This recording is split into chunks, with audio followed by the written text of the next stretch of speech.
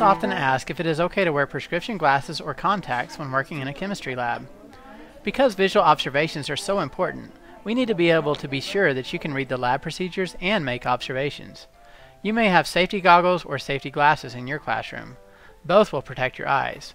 If you wear prescription glasses, goggles are designed to actually fit over those glasses. When working with chemicals, there is always a risk of having a spill. This puts our skin and clothes at risk. By using a safety apron, you can help protect both. Be sure to tie the apron like you do your shoes so it can easily be untied at the end of the lab. If you have trouble tying the apron, have another student help you. But what if you are using an apron from a previous class period and they may have spilled something on the outside? How would you know which side would be facing away from you? One trick is to write on the outside with a permanent marker. If the writing reads correctly to those who are facing you, you know you have placed it on correctly. To prevent accidents, be sure to keep your workspace uncluttered and only have the items out that you need. Be aware of those that are near you and the items around you to keep from knocking things over or bumping into somebody. Another preventative measure is to tie long hair back and to remove jackets and avoid wearing loose sleeves or dangling jewelry. This will prevent your hair from getting into chemicals or a flame, as well as preventing a spill that could harm you or others. When working with a candle, Bunsen burner, or hot plate, there is always a risk of causing fire or getting burned. Be sure to keep flammable items away from your workspace and always be mindful to never reach over the flame or hot plate. When you are finished with the heat source, extinguish the flame or turn off the hot plate. To prevent cross-contamination between your chemicals, it is a good idea to place a small amount of the reactant in a clean beaker. If you accidentally put too much on the scale, you can remove some and put it back in the beaker. This keeps the original container free of contaminants. Another rule is when using a spoon or scoopula to remove a chemical, it is only used for that one chemical. If you're using multiple chemicals, have a separate spoon or scoopula for each one.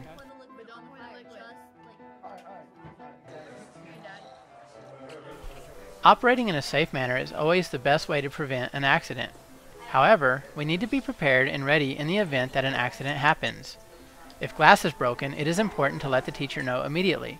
It will be their job to clean it up to prevent you from getting cut or coming in contact with chemicals that could be harmful to your skin. A spill can also cause someone to slip and fall. Glass is never to be placed in a trash can as the glass can cut through the trash sack or come in contact with another person who chooses to push it down if the trash can becomes full. A glass container or bucket should be used until the glass can be disposed of in a safe manner.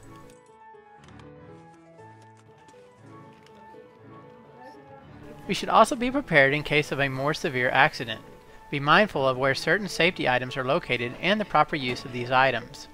Trash cans can be used for disposal of paper and some chemicals. Be sure to ask your teacher if it is safe to place questionable items in the trash. Sinks are used for cleaning up lab equipment as well as washing your hands. Some chemicals can be safely disposed of in the sink. Again, be sure to ask your teacher before placing any chemicals or biological items in the sink. Know the location of the safety shower and eye wash station in the event of a serious spill on your body or a chemical splash into your eyes.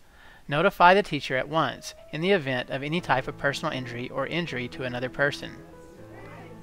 As we mentioned earlier, fire can be a danger in a lab, so know where the fire extinguisher, fire blanket, and nearest fire alarm pull switch is located. Also know where your safety exits are located.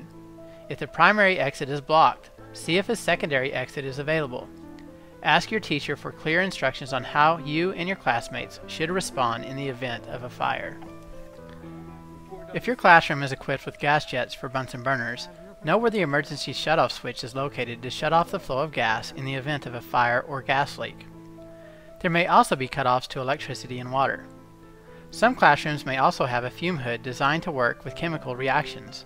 The fume hood is used to remove harmful or noxious fumes out of the building and to keep you safe when working with potentially harmful substances. The chemical supply closet and cabinets are off limits to students, as many of these substances placed in storage can be harmful and even fatal if used improperly. They are organized in such a way as to provide safe storage, such as the utilization of a flammable cabinet and acid cabinet to prevent an unexpected fire or corrosive leak of chemicals. It is your teacher's responsibility to maintain these items in a safe manner for the students, staff, and building. Some science classrooms may have class pets or other live organisms used for observation and teaching. Always treat organisms with respect. Never poke, scare, harm, or treat these organisms in an unkind way. This is also true of specimens purchased for dissection. Even though these organisms are no longer alive, they are intended to further your knowledge about the structure and function of internal organs and body structures. When making observations, it is also very important that we never smell directly from the substance. Always utilize a wafting motion. This prevents you from accidentally inhaling too much of the fumes or odors. The final step of any lab is to clean up your work area and wash your hands. Your eye protection and apron should be the last thing that you put away. These are just a few of the rules to be mindful of when working in a science classroom. Probably the most important rules in my classroom are to never horseplay and we never eat or drink in a science lab. You should read the entire lab procedure before you begin and always ask your teacher about anything you do not understand or have a question about. When we all work and operate in a safe manner, we not only prevent injury to ourselves, we prevent from harming others. Ask your teacher for additional safety precautions and rules we need to follow as each school and classroom may have more information than what is contained in this video. Labs are a fun way to learn about the world we live in and working safely is our first priority.